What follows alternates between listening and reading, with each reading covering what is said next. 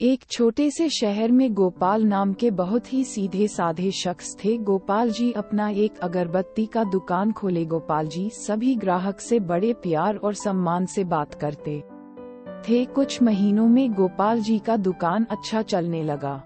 एक दिन एक आदमी गोपाल जी को बोला, आपने अपने दुकान पर लिखा है, हमारे यहाँ सुगंधित अगरबत्तियाँ मिलती है। आप ही बोले, कौन सी अगरबत्ती सुगंधित नहीं होती है?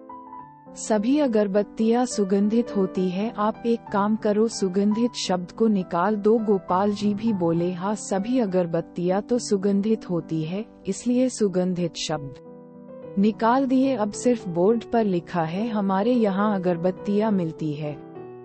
फिर कुछ दिन बीतने के बाद एक आदमी आया और बोला, आपने बोर्ड पर गलत लिखा है कि हमारे यहाँ अगरबत्तियाँ मिलती है। अगरबत्ती की दुकान है तो अगरबत्ती तो मिलेगा। ही इसमें लिखने की क्या बात है? आप सिर्फ़ अगरबत्तियाँ लिखो। उस आदमी की बात सुनकर गोपाल जी दुकान पर सिर्फ़ अगरबत्तियाँ लिखे। कुछ महीने के बाद में एक और आदमी गोपाल जी की दुकान को देखकर बोला, आपने अगरबत्तियाँ लिखा है। आप अगरबत्तियों का दुकान खोले हो तो इसमें लिखने की क्या बात है? आप इसे मिटा दो गोपाल जी ने। अब अगरबत्तियाँ भी मिटा दिया। अब दुकान पर कुछ नहीं लिखा है। कुछ महीनों बाद गोपाल जी की दुकान में बिक्री बहुत कम हो गई है। गोपाल जी को बहुत नुकसान होने लगा।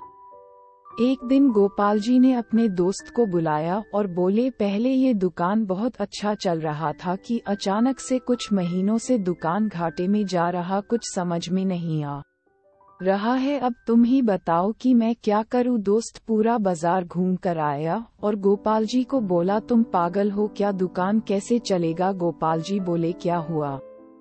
सभी दुकान के बोर्ड पर लिखा है, वह क्या बेचते हैं? और तुम्हारे दुकान पर कुछ नहीं लिखा है। लोगों को मालूम नहीं होगा कि तुम बेचते क्या हो तो तुम्हारे पास आएँगे कैसे बोर्ड पर लिखो कि हमारे यहाँ सुगंधित अगरबत्तियाँ मिलती है। अचानक गोपाल जी एकदम सन रह गए। उन्हें अपनी गलती मालूम हुई और तुरंत बोर्ड पर लिखा गया कि हमारे यहाँ सुगंधित अगरबत्तियाँ मिलती है।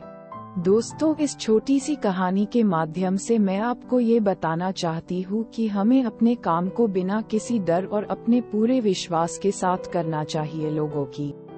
बातों में आकर हमें अपने डिसीज़न नहीं बदलना है। धन्यवाद।